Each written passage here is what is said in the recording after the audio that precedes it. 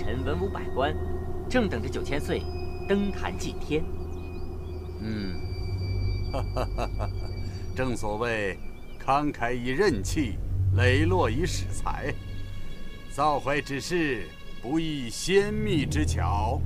本座今代天子祭天，必摇起满天神佛，赐福大明皇朝，黎民安养，国祚绵延呐！魏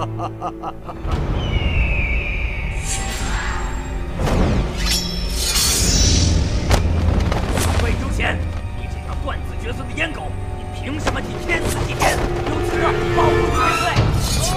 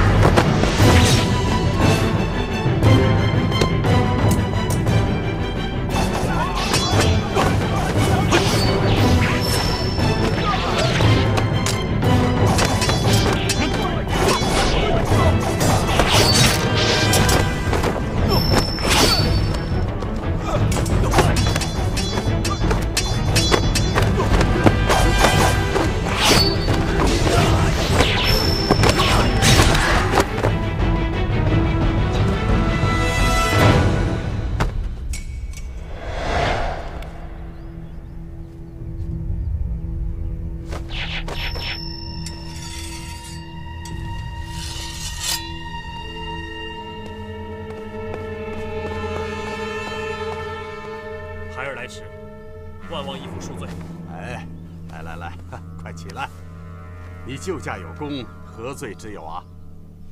李飞暖，九千岁受惊，卑职之罪。哼，全是一群酒囊饭袋。若被我儿红影及时赶到，这后果担当得起吗？卑职护驾不周，请九千岁降罪。哼，这次就算了，但再有下次，本座要你提头来见。是。起来吧。谢九千岁。红影啊，这位东厂指挥使厉公公是自家人。久闻神经头号杀手叶红影叶千户。九千岁有此义子，必可高枕无忧啊！哼哼。啊，飞暖，我儿红影生性孤傲，初次见面难免生分，日后熟了就好了。啊，你可别放在心上啊！啊，呃，卑职不敢。看看这些自以为是的反贼，简直太猖狂了！本座扪心自问，侍奉皇上，忠心耿耿报效朝廷，劳心劳力。本座今日代皇上祭天，是为天下百姓、黎民苍生祈福。他们居然还想置本座于死地，这简直是蔑视王法，唯恐天下不乱。请义父放心，孩儿绝对不会让这些乱臣贼子为祸天下。好。不过杀几个恶贼容易，但这不过是表面文章。你可知道这危害天下的祸根在哪儿吗？请义父教诲。东林书院。这是当然。老夫虽说已经不问朝政，可是绝不能看着先皇的基业被这群阉党走狗祸害。为了天下的黎民百姓。老夫已经拟定了良策，暗中联络了各部各司的同僚以及门生。这些都是我大明朝的忠义之士，愿为我大明社稷舍生取义。只不过现在时机未到，只能忍气吞声，随波逐流。一旦条件成熟了，我们就会联络袁崇焕将军。共襄盛举，里应外合，一举将魏忠贤的阉党恶事除掉。你将这份名册给袁将军送去。这次事关重大，我去请风尘双侠亲自护送您去辽东。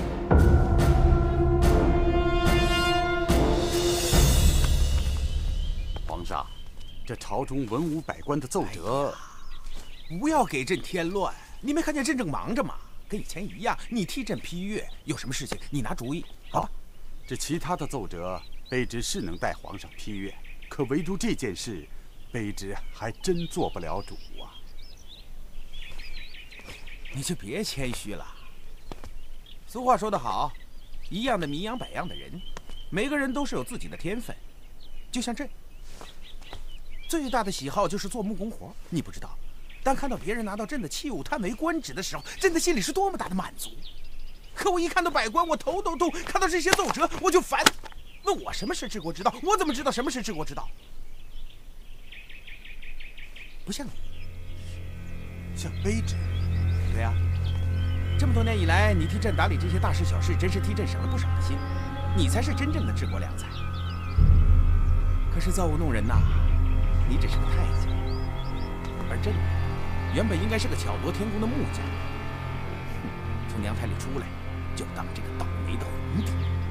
卑职还是希望皇上能够流芳百世，名垂千古。流芳百世，名垂千古。历朝历代有哪位皇帝真正能够做到流芳百世，名垂千古？哪一位不是遭到后人的唾骂？唐太宗李世民杀父弑兄，近代隋炀公杨广强占妇妾，就连我们的太祖高皇帝。不也是被后人指责说是大杀开国功臣吗？风声雨声读书声，声声入耳。国事家事天下事，事事关心。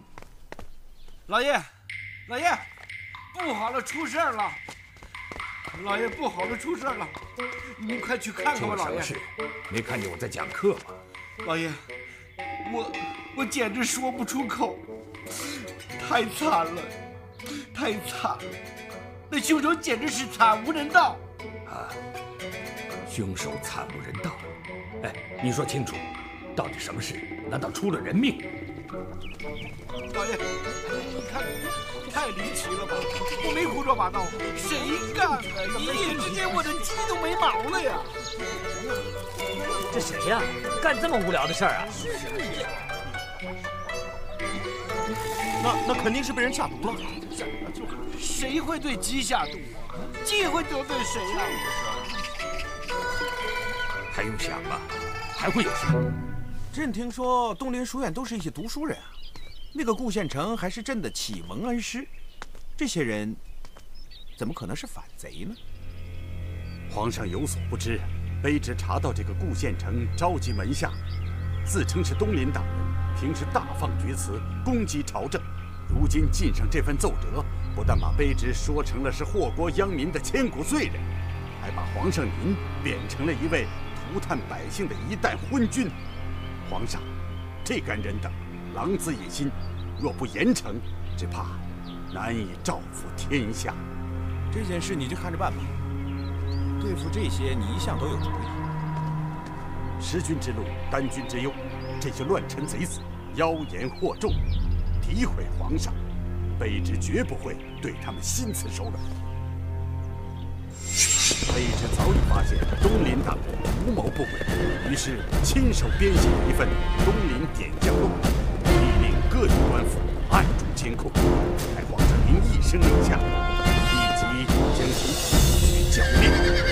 其书其内参真，亲自南下无锡，东临老巢。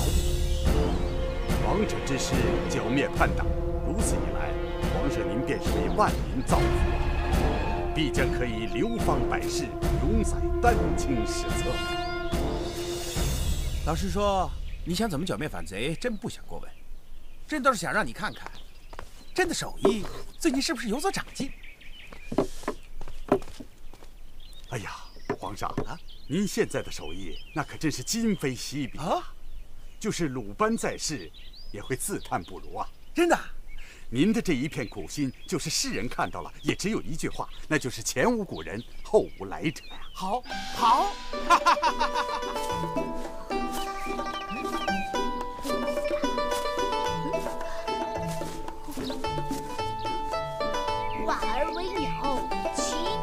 鹏。鹏之背，不知其几千里也。怒而飞，我要飞上天了！哎哎哎！老爷，你看，这这这这，小少爷，你怎么上房了呀？可千万别想不开啊！马上飞，你来的正好，快帮我试试这对鸡毛翅，我保证你一飞冲天。学鸟飞，荒唐！爷爷，我想学鸟飞是您教我的呀，怎么能说我荒唐呢？一派胡言！我有教过你这种荒唐事吗？您教过我的，您说做人要有鸿鹄之志，要有展翅百川千壑的雄心。不信你问马上飞，马上飞是不是这样？哎呦呦呦呦！啊，我证明。老爷，你确实说过，他他确实这样教育你，我我正正正。正好，石副将，末将在。风尘双侠已经去江南好几个月了。顾先生不知道怎么样了，袁将军，风尘双侠还没有消息传回来，还没有消息。将军，您先别担心，末将认为，这没有消息就是最好的消息，这表示魏忠贤这帮狗贼到目前为止还没敢对顾大人下手。如今魏忠贤这条阉狗把持朝政，权倾朝野，欺蒙圣听，顾大人。刚正不阿，早就是他们的眼中钉、肉中刺。我的确担心顾大人会遭遇他们的暗算。啊，将军，您多虑了。顾大人毕竟是三朝元老，也是当今皇上授业恩师。只要皇上还在，这个魏忠贤胆子再大，也不敢把顾大人怎么样吧？但愿如此吧。哎，喝茶吧，啊！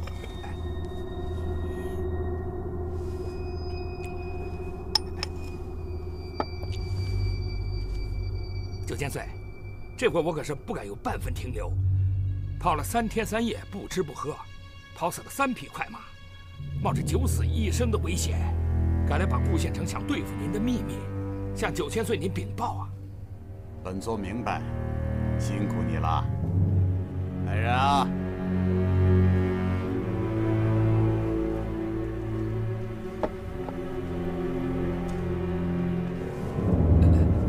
这是，这是你应该得的。谢景千岁，那我就恭敬不如从命了。哎呦，支茶，这你还不明白吗？我对你忠心耿耿，为为什么你还？走狗也配谈忠心？今天你可以为了银两出卖你的主人，明天你就同样可以出卖我。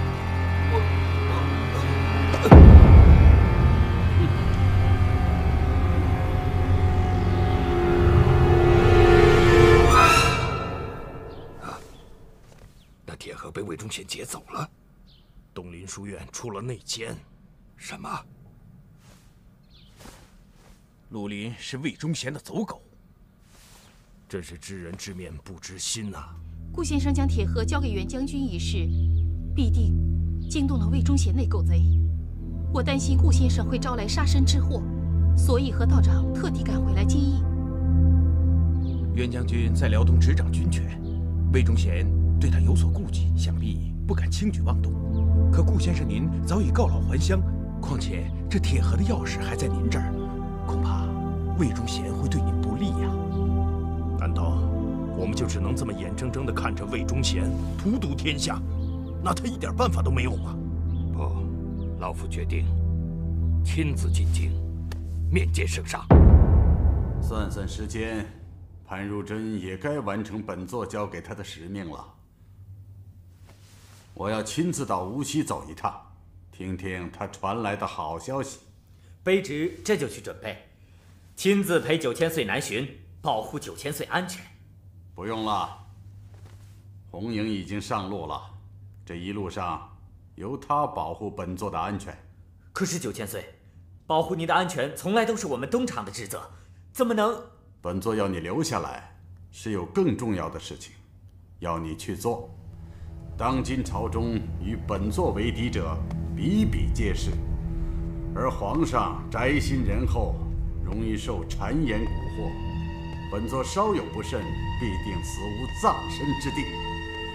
如今也只有你忠心耿耿于我，我必须将最信得过的人留在宫中，为我盯紧一切，绝不能让闲杂人等接近皇上。若有什么风吹草动，务必在第一时间内告知本座。顾先生，魏忠贤的爪牙遍布京城，您这一去，恐怕是凶多吉少啊！老夫这把老骨头，还怕个死字吗？熊廷弼、杨涟这些忠臣良将，都先后遭到魏忠贤的毒手。老夫没有替他们讨回公道，心里有愧呀。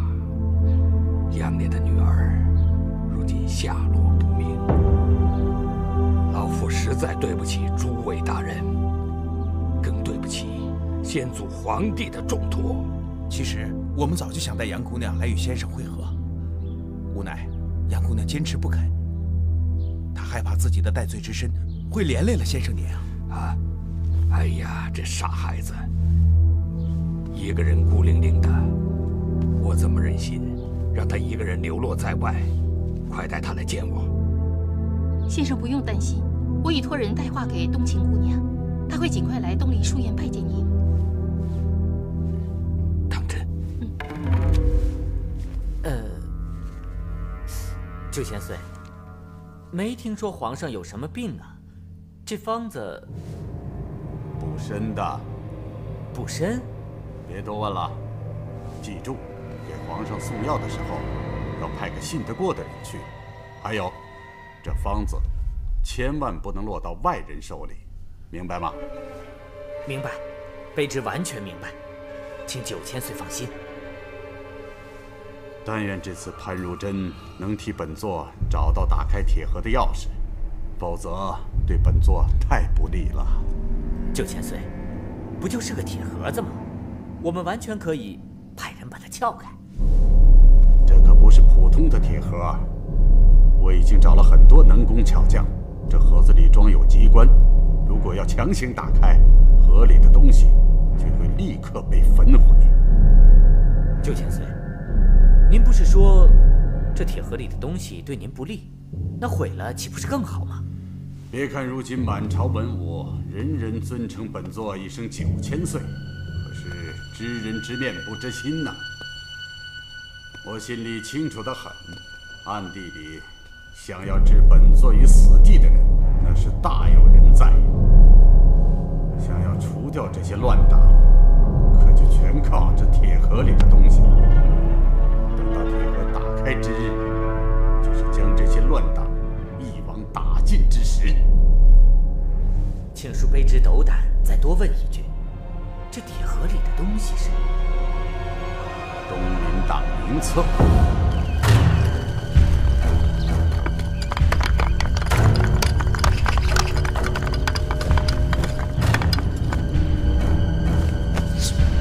给我仔细收好。不许放走一个叛党！啊啊啊啊啊！哎呦我天！啊啊啊啊啊！小少爷，差不多了，咱们下去吧。啊！马上飞，你上来了就别下去了。早跳晚跳都是跳，你想开点，别耽误时间，跳吧。少爷，你别别别让我别让我跳了，这万一有个三长两短，以后你半夜撒尿谁叫你？我还得照顾啊！哎呀，东林书院里那么多人呢。伺候我的人多的是，万一你有什么事儿，有好多人能伺候我呢。啊，快跳！不是，这这这这太高了，这是。预备。我是主人还是你是主人啊？你是，当然你是，你永远是我的主人。可是这跟这没关系。那你就得听我的，我要你像只鸟一样勇敢地飞出去。小小小鸟，你小时候你见过这么大的小鸟吗？再说也没这么肥的呀。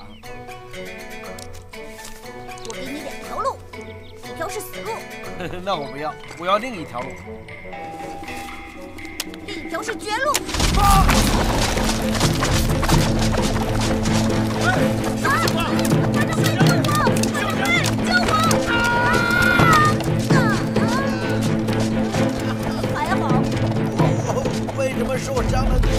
我呀！不好了，顾先生，锦衣卫杀进来了。这，顾先生，怎么办呢？真的出事了！一定是魏忠贤派人来，想把我们赶尽杀绝。属下，你们保护顾先生先走，我去引开他。我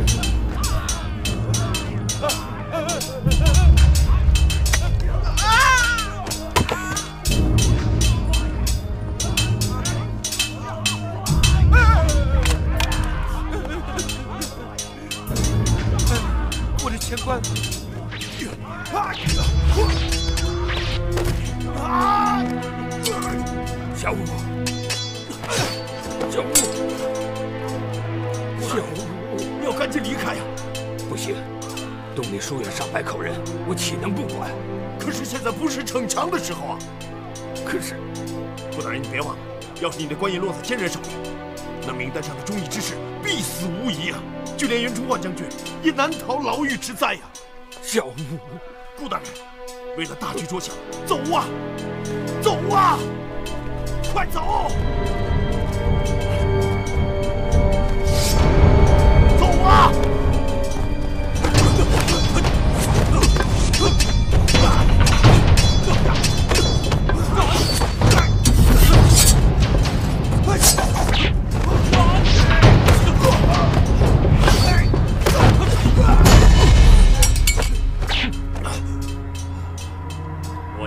朝廷命臣，有功在身，不杀你，留给你一次接受律法制裁的机会。狗贼！我就是做鬼，也不会放过你！拿下！是。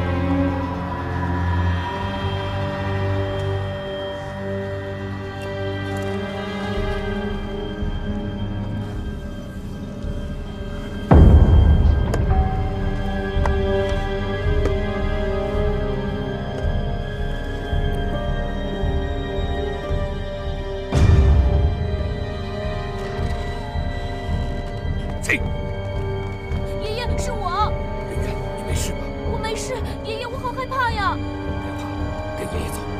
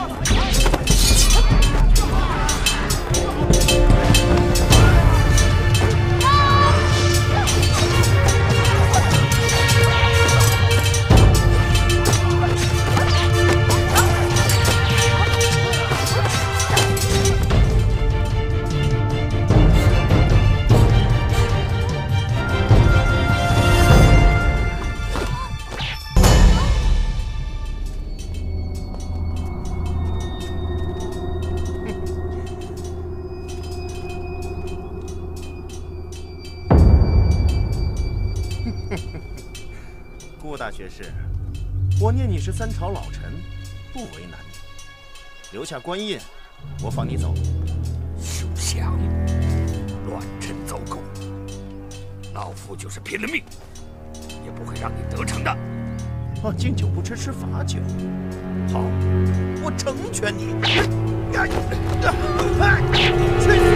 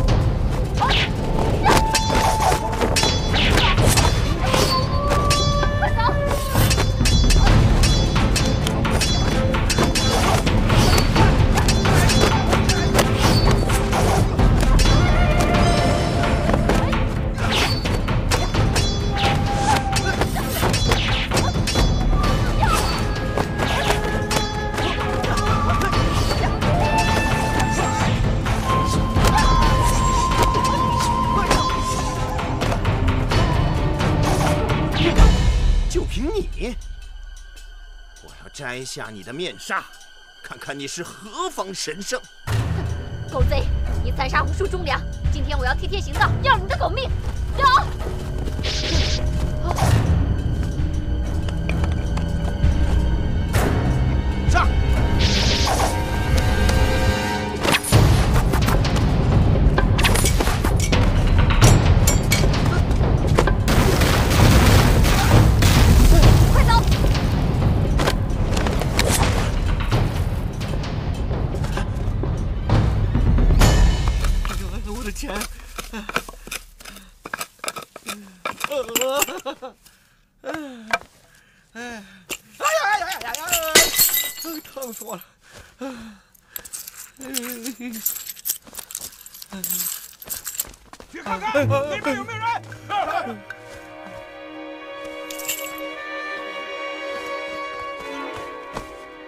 哎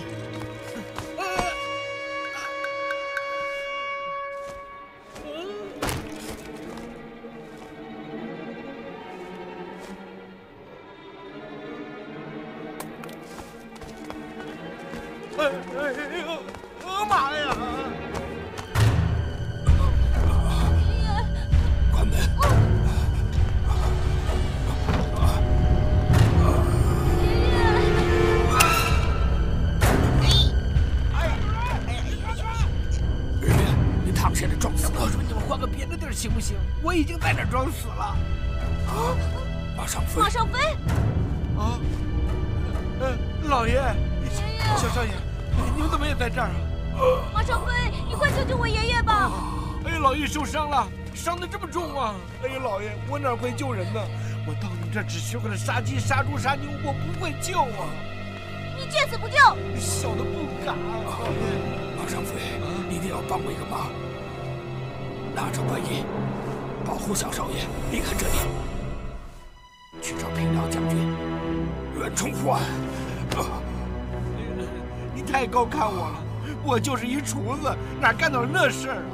我只会煎炒烹炸，你还是求别人吧，老爷。你干什么呀你？啊不，对不起，对不起。我知道你没什么出息，找上你我千百个不放心。可是这东陵书院，死的死，抓的被抓，只有你了，我只好把人怨托付给你。哦，老爷，你太会聊天了，哪有这么求人办事的呀？你要是不答应，我死不瞑目。啊！哎呀！爷爷！哎呀！爷爷！爷爷！哎呀，老爷，你别这么瞪着我呀！我没抱过死人，老爷，别在我怀里去呀，老爷！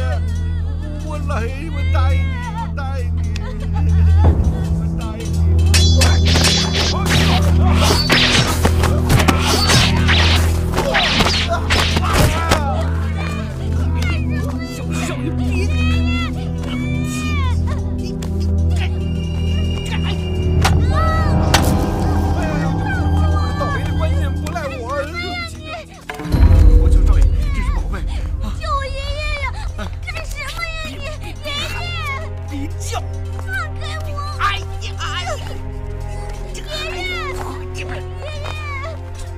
别喊，别喊，小祖宗，别喊了，别喊了！他要是进来，我们俩都得死，知道吗？别叫！不许可小事亏大，不许出大事，控制啊！这这儿有个洞，我可以爬出去。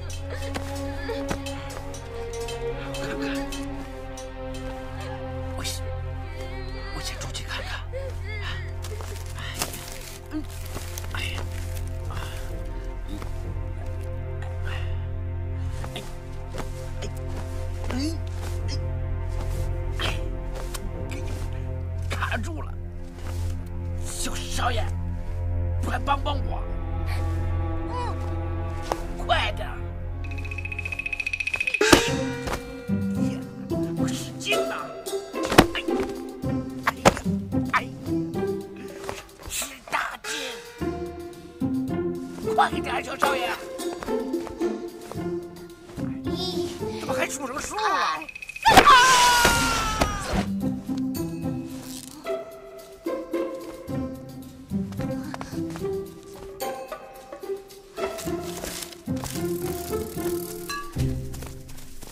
花姨，你就别再拦着我了，我必须要回去。今天要不是我发现的早，一路追过来，你现在早就被那些官兵抓起来了。亏你还长了一双水汪汪的大眼睛，你瞎了？你没看见那么多官府的人都在那儿？你别忘了，你的真实身份要是被人发现了，那可不是闹着玩的。你现在可是戴罪之身，你知道吗？阿姨，你都看到了，那么多官兵把书院给围住了，顾大人他一定会有危险的。我原本今天是想去看望他老人家的，可是没想到。天下想不到的事儿多了去了。当年我堂堂一个将军夫人，现在却成了醉月楼的老鸨。东林书院出了事，你以为我不着急啊？你也看见了，这么多的官兵，就单凭你我两个人的力量，怎么能救得出书院那么多的人呢？弄不好，你我两条小命都得搭上。能救一个人是一个人，我顾不了那么多了。好，你杨冬晴不怕死。我赛花花也豁出去陪着你一块儿了，可你想清楚了，咱们要是这么一去的话，万一把身份给泄露了，那醉月楼肯定也跟着没了。这醉月楼没了，那些被魏忠贤残害的人可就少了一个藏身避祸的地儿了。可是花姨，我听我的话，先回醉月楼，商量好了再做决定。快点啊！你干嘛？快点！我屁股疼。你还屁股疼？脑袋都快掉了。